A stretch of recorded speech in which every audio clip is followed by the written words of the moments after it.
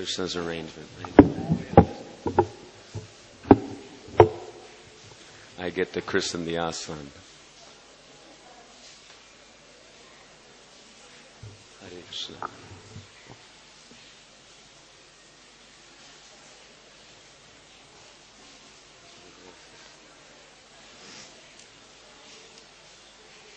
Hare Krishna, Hare Krishna, Krishna Krishna, Hare Hare, Hare Ram, Hare Ram, Ram Ram, Hare Hare, Hare Krishna, Hare Krishna, Krishna Krishna. There's a saying, Srila Prabhupada even used it. There's a saying that a preacher is least appreciated in his own hometown. And I guess that's just normal. So we, we shouldn't uh, get too upset if that thing happens to us. Um, anyhow, I see most the devotees seem to be rather new devotees. So I don't know, you know, how much you're going to be able to put this dissertation to practical use now but we should remember that today's disciple becomes tomorrow's guru, isn't it? So therefore, it's always good to be, let's say, edified and, uh, let's say, um, cautioned as to the actual purpose of our mission etc. So I've written a few words here just to try to consolidate my ideas so that I don't carry on and on and on and on for three hours. On the occasion of this most celebrated event commemorating the appearance of our beloved Srila Prabhupada, I again earnestly offer my obeisances to the esteemed assembly of devotees and humbly entreat all of you to once more kindly, carefully, and patiently hear a few selected, straightforward, truthful, and perhaps spicy words from the heart a most lowly and insignificant Aindra Das. Some may think me to be a bit brazen, or rather audacious, to say the things I do. Whatever it may be, I pray your broad-mindedness will kindly recognize the relevance of this short dissertation as well as my intention to catalyze a greater depth of thoughtful discussion regarding the mission of His divine grace and the progressive viability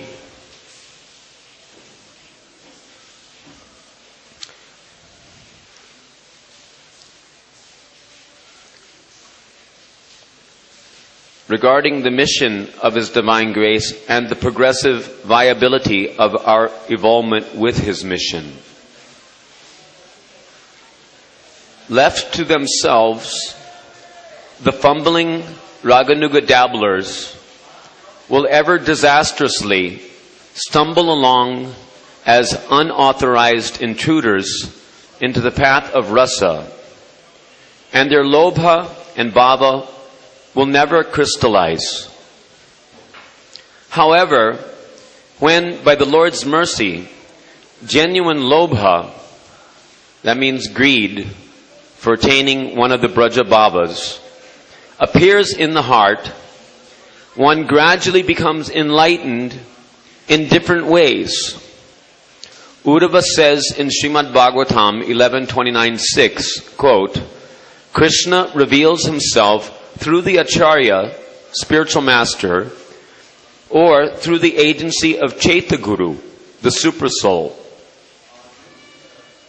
Thus, some devotees attain knowledge about the moods of Krishna and his Abraja associates from the mouth of a Rasik Vaishnav guru, some from the mouth of a learned Raganuga devotee, and some whose hearts have been purified by the practice of devotional service will have this knowledge directly revealed to them from within their hearts.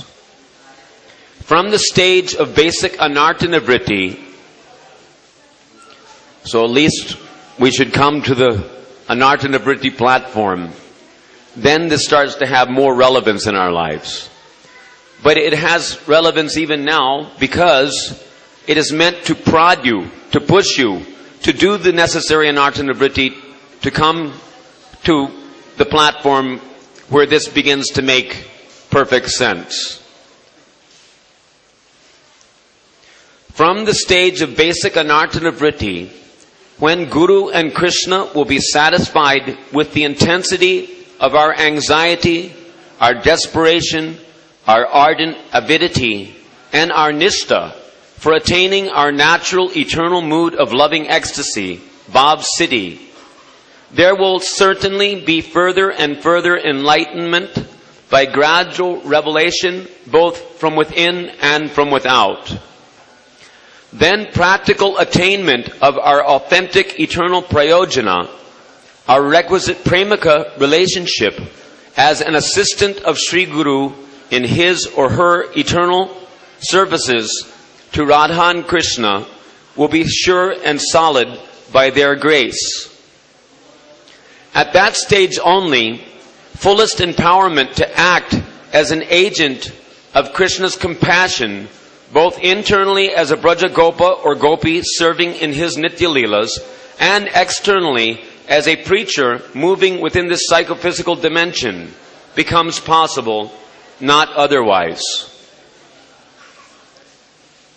This material world will be repeatedly manifested and unmanifested for the rest of eternity. It is not that this insignificant point on the eternal time continuum is the all important consideration. For all of eternity, there will be innumerable fallen conditioned souls who will need to be delivered to the supreme perfection by the influence of someone's highly qualified and most capable, fully self-realized, superconsciously empowered preaching efforts.